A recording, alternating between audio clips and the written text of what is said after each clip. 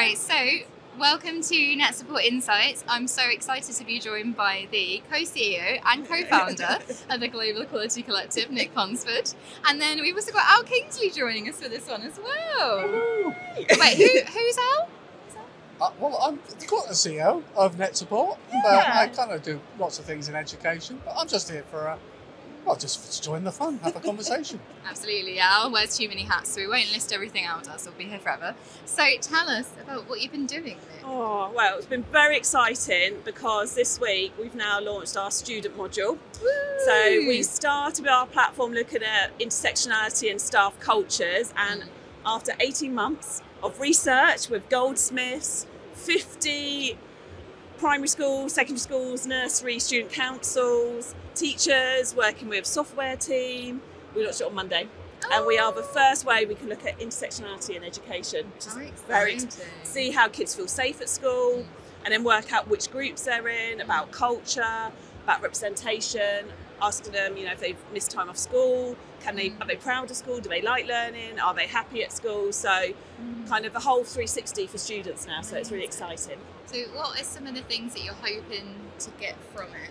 I think trying to understand the voices of our more marginalised students. Mm. I think there's a lot that's happened in the last few years where attendance is a real issue. Kids aren't feeling safe. There's a lot of phobic uh, beliefs in education, and staff don't really know where to start or where that get that expertise. And and we think we start by asking the students, but that's that's hard to ask the students their opinion. And so what we were able to use is use the technology to do it and make it easy for schools to do it very quickly. Um, and then we've got our Global Equality Collective that help with like that inbuilt coaching. So we help schools, you know, work out what they do in a way that is in, you know, the best interest of the children and led by them as well. So we're really excited to see how it's going to develop. Yeah, I- I'm interested, Nic, with all the research. Have we been asking the wrong questions?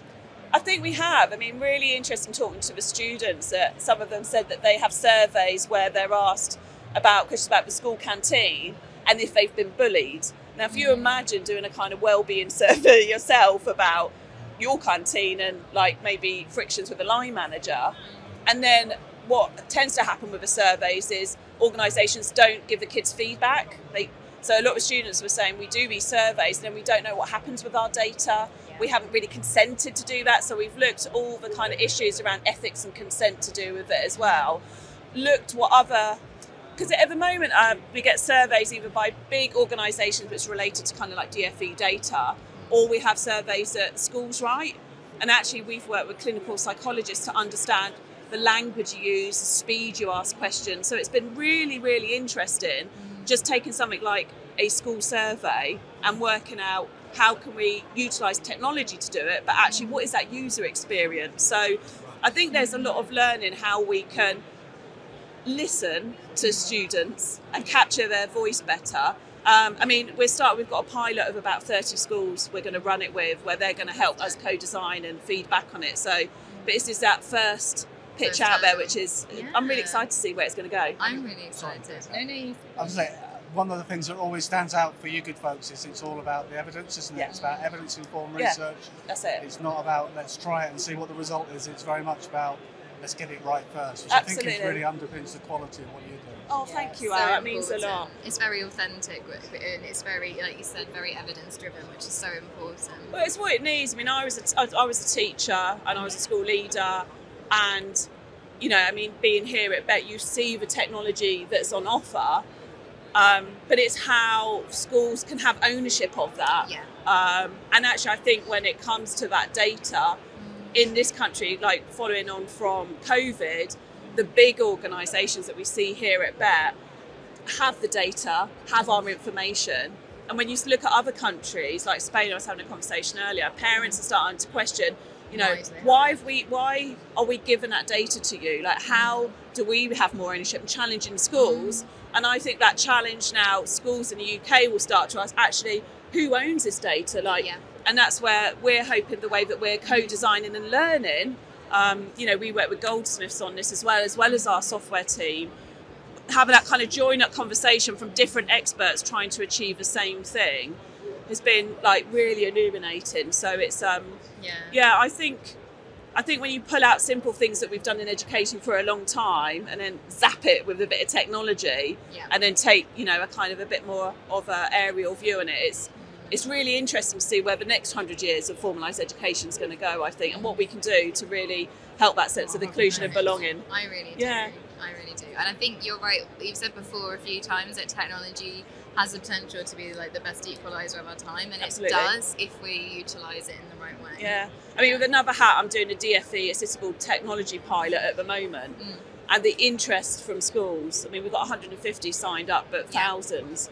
Um, and, and I think in education, we've technology has been seen as, as a COVID response. And there's confidence, but there's not the risk taking. Yes, there's not the kind exactly, of yeah, critical aspect of what are we using technology for. Mm. And I think as people become more confident and start challenging it, that's where we'll build better tech that actually takes us forward for what learning is going to be like in the future.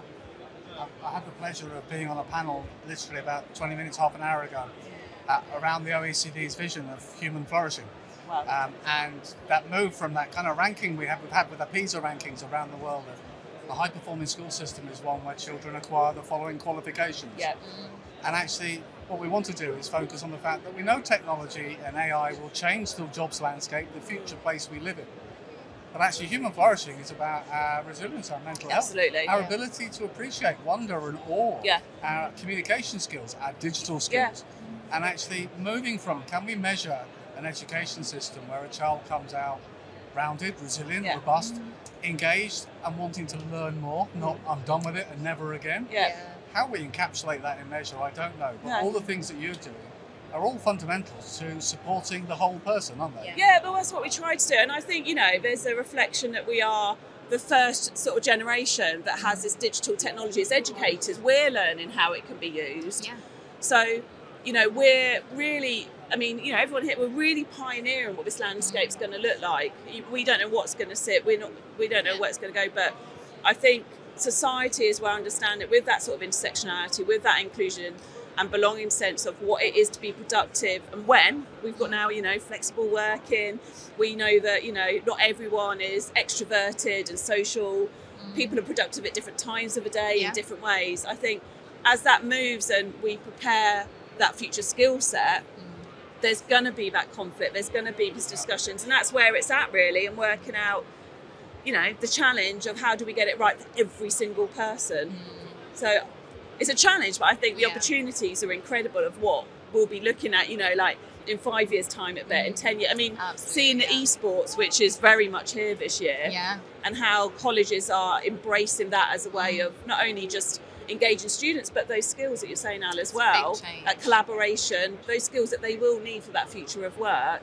I got a stitch just watching these sports, so that's me out. Well, You I'm- say that. You did really well in our warm up yesterday. Well, um, who was it that we had to come and do the warm we up? did. We had The name Tansy slipped. TV Tansy TV. do our, uh, Yeah. They're normally aimed at primary children as Yeah. part of the sports premium, getting them up and active at the start. We were doing day. it. We were doing We carrot tried it with jumps, carrot Yes, jumps, and and tomato rolls. On And workout just to get the, the system going. And it did help wake us up. It, it did, yes. Yeah. I was paying the price later in the day, but it was Yeah. all good to get us going. It was great. So- yeah, that, that's really important as well. I think like that, like physical health, mental health, all these things coming together, really Yeah. important for our children. And I really hope that when you get some data back from your schools, Mm. that you'll share it with us in Oh, Rise, because I- I would love to publish some of that and Yeah, no, have I'd some love to. discussions around that as yeah, well. I think it'll be really interesting. So, Mm. yeah, I'd, yeah, I'd love yeah, that. Thank you. Brilliant. Well, thanks for talking to us. Yeah, and good luck with the launch. Thank you. Thank you.